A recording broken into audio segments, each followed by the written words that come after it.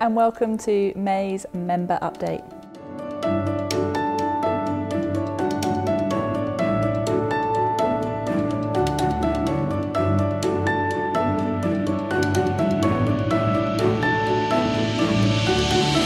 Out on the golf course, we've started using the state-of-the-art Air 2 G2 machine, which blasts air laterally up to 12 inches beneath the surface of the soil.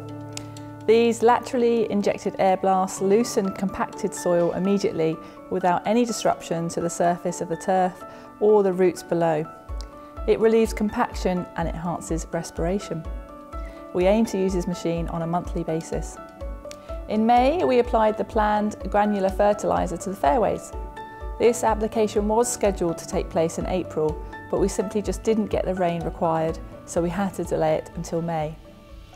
Even though we have had some rain, we are still in great need of more to ensure that the seedlings continue to grow and the fertiliser can make its full impact. We are receiving great feedback on the greens, which are continuing to improve on a daily basis. As the soil temperatures continue to rise and the differential growth is reducing, a regular programme of rolling, top dressing and brushing are all now taking place. This will really help us get smooth and firm surfaces that we're all looking for. We've had a visit from our agronomist consultants called STRI, who work with the R&A, FIFA World Cup and the Olympic Games. Their visit is very scientific with data collection taking from soil samples, stimp meter readings and also a trueness meter reading. The trueness meter measures the amount of deviation from a rolling ball and is capable of detecting such small features as disease scars, pitch marks and patches of annual meadow grass. The initial results from the visit were incredibly positive, but we will update you with a more detailed report in next month's video. And finally on the course matters, we are delighted to welcome Nathan Klein to our West Course team as an apprentice greenkeeper. Moving on to mansion matters, as you all know from the vision presentation, the club's intention is to convert the Thornhill room from its current use as a function room into a members lounge. We have formed a steering group of members helping me to discuss and manage the project and we also have met with two interior designers to get their thoughts and advice on the room. Over the coming weeks we will be emailing all of you outlining the intended functionality and the use of the room.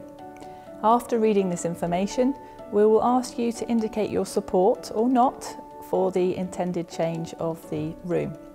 Now here's a question for you. Do you have any friends or family who enjoy the outdoors, like to meet new people or are simply looking for a new hobby? If you do, we have just the programme for you. We've created a new Get Into Golf programme designed for members, friends and family to learn golf in a welcoming, relaxed and most importantly fun environment. Within each level, golfers will have formal lessons from our PGA professionals, on-course experiences, lessons on etiquette, opportunities to gain confidence by playing Rickmansworth Golf Course, and of course, once ready, have the opportunity to play on both of our championship courses.